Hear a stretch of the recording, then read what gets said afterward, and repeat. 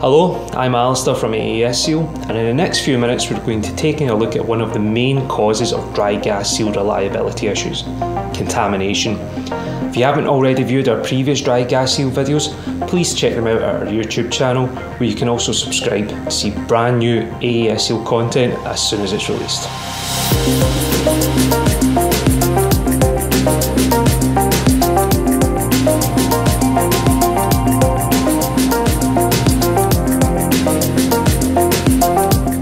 During the dry gas seal inspection process, it may be determined that a seal has suffered damage or even failed during operation. Approximately 90% of dry gas seal reliability issues can be attributed to contamination. But how exactly is it caused and how can it be prevented?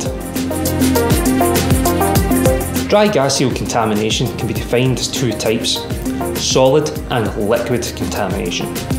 Solid contamination may be caused by particulate from the process or seal gas, corrosion from pipework, or ingress of sealants or lubricants.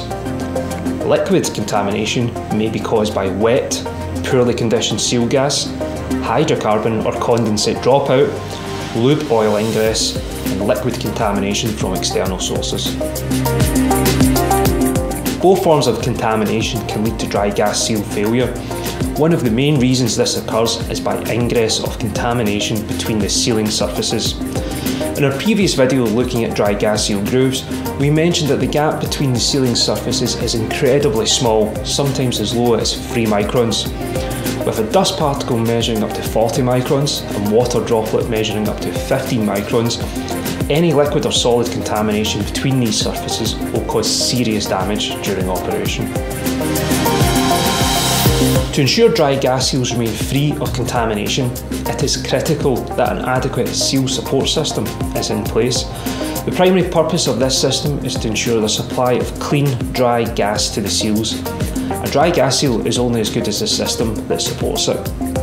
Typical seal support systems consist of particulate filters to remove solids, coalescing filters to remove liquids, heaters to ensure gas is free from liquid and condensates, pressure and or flow controls, alarms to alert operators to adverse conditions and alternate seal gas sources if required.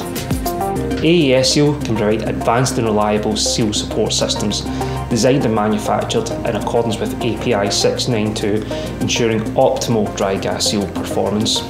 In addition, AESSEAL offer extensive after-sale support to assist with reliability issues related to all aspects of dry gas seals, regardless of manufacturer. This includes conducting extensive root cause analysis and the provision of upgraded products and systems to ensure the continued safe and reliable operation of your equipment.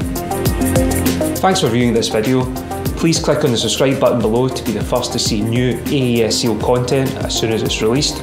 Also, don't forget to check out our website at aesseal.com to find out more about our products and services.